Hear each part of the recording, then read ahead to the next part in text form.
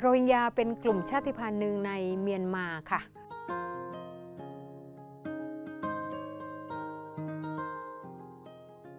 ก็คือชาวโรฮิงญาก็เป็นมุสลิมในรัฐยะไข่ของประเทศเมียนมา แต่ว่าไม่ได้รับการยอมรับจากรัฐบาลเมียนมา ไม่มีสัญชาติ ไม่ได้รับการ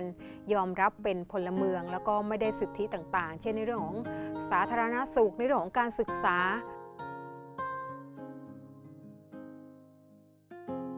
คือแต่เดิมเนี่ยเมื่อพันกว่าปีที่แล้วเนี่ยเขาก็อยู่ที่นี่อะนะคะอยู่ที่รัฐอารากันหรือว่ารัฐยะไข่ปัจจุบันเนี่ยนะคะแล้วก็มีช่วงหนึ่งค่ะ ในสมัยของรัฐบาลอุนุเนี่ยเขาก็ได้รับสัญชาติ เขาเคยมีบัตรประชาชน เขาเคยมีสิทธิความเป็นพลเมืองอะค่ะ แต่ว่าในที่สุดมันก็หายไป มันเริ่มหายไปตั้งแต่รัฐบาลในพลเนวินนะคะ คือรัฐยะไข่นะคะของประเทศเมียนมาซึ่งเป็นที่อยู่ของชาวโรฮิงญา แต่เดิมเนี่ยเขาชื่อว่ารัฐอารากัน แต่ว่าเพิ่งมาเปลี่ยนชื่อเป็นรัฐยะไข่เมื่อปี 2517 ค่ะ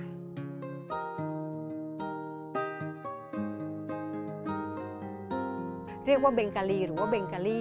เพราะว่าเป็นการแสดงถึงการไม่ยอมรับกลุ่มชาติพันธุ์นี้ในประเทศเมียนมา คือไม่เรียกชื่อก็คือไม่มีคนเหล่านี้อยู่ในประเทศของตัว การที่เรียกว่าเบงกาลีหรือว่าเบงกาลี ก็หมายความว่าคนเมียนมาหรือว่าชาวพม่ามองว่า คนโรฮิงญาไม่ได้อยู่ตรงนั้น แต่ว่าเป็นชาวบังคลาเทศที่หลบหนีเข้ามาในรัฐยะไข่ค่ะ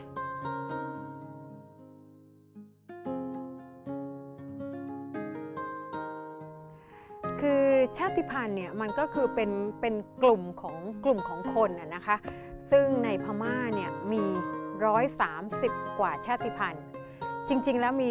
135 ชาติชาติพันธุ์ที่ได้รับการได้รับการยอมรับจากพม่า อย่างเช่นมอญก็เป็นกลุ่มชาติพันธุ์หนึ่งกะเหรี่ยงก็เป็นกลุ่มชาติพันธุ์หนึ่งขชินก็เป็นชาติพันธุ์หนึ่งโรฮิงญาก็เป็นชาติพันธุ์หนึ่งเหมือนเหมือนกับพวกมอญพวกกะเหรี่ยงนี่แหละค่ะ แต่ว่ารัฐบาลเมียนมาไม่ยอมรับ ซึ่งความต้องการของชาวโรฮิงญาเขาเคยให้สัมภาษณ์นะคะ บอกว่า เขาต้องการอะไร เขาก็ต้องการเหมือนที่ว่ามอญอยู่อย่างไรกะเหรี่ยงอยู่อย่างไร เขาก็ต้องการแบบนั้นนะคะ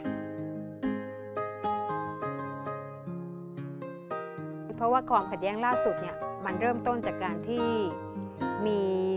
กลุ่มติดอาวุธชาวโรฮิงญาไปโจมตีกองกำลังของรัฐบาลเมียนมาใช่ไหมคะ เพราะฉะนั้นเนี่ยก็เขาก็กล่าวหาว่ามีผู้ก่อการร้าย เพราะฉะนั้นก็เหมือนแบบไปแบบ เขาเรียกว่าอะไรไปตรวจไปปราบตามหมู่บ้านต่างๆค่ะเพื่อที่จะหาคนที่ก่อการร้าย คนที่เข้าไปเกี่ยวข้อง แต่ว่าทีนี้การไปหาเนี่ยมันเป็นลักษณะของการปูพรมคือคือเข้าไปเนี่ยไปถามว่าเออมีผู้ก่อการร้ายไหมรู้จักไหมอะไรอย่างเงี้ยแต่ว่าประชาชนผู้บริสุทธิ์ผู้ที่ไม่ได้รู้อิโนอิเหน่ด้วยเนี่ยมันก็ได้รับการได้รับผลกระทบถูกปราบปรามไปด้วยค่ะ